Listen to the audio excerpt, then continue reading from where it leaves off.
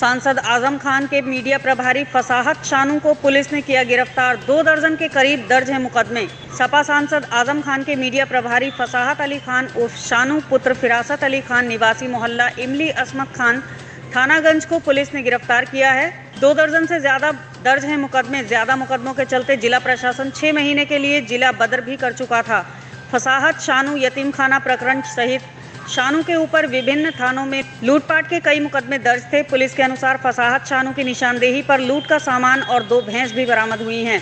सपा सरकार में यतीम खाना बस्ती में पीड़ितों के मकान तोड़े जाने और भैंस बकरी चोरी और लूटपाट के आरोप लगाए गए थे। सत्ता बदलने के बाद पीड़ितों ने आज़म खान सहित कई लोगों पर मुकदमे दर्ज कराए थे। उनमें आज़म खान के मीडिया प्रभारी फसाहत अली शानू भी नामजद थे। जिनको कोतवाली पुलिस ने रात में तोपखाना गेट के पास से गिरफ़्तार किया और निशानदेही पर थाना कोतवाली व गंज में दर्ज मुकदमों से संबंधित लूट व चोरी के रुपए व माल भी बरामद दिखाया गया। दो दर्जन मुकदमे दर्ज होने पर गिरफ्तारी के बाद शानू को कोर्ट में पेश कर जेल भेज दिया गया।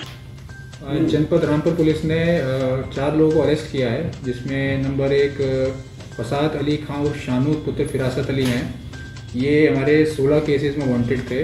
इनका यतीम खाना प्रकरण में इनके खिलाफ मारपीट, लूट, डकैती और तोड़फोड़ में मुकदमा लिखा गया था। इनसे जो बरामदगी हुई है, उसमें कैश है, ज्वेलरी है और दो भैंसे जो ये उस टाइम पे लूट के ले गए थे वहाँ से, वो इनके खेत से बरामद हुई है, जिसको वादी ने आइडेंटिफाई भी किया है।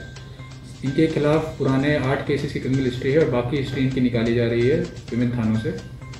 दूसरा केस है, उसमें पी एस गंज में हमारे एक वांटेड था सज्जाद खां, उसको अरेस्ट किया गया है। इसके खिलाफ दो मुकदमे दर्ज थे।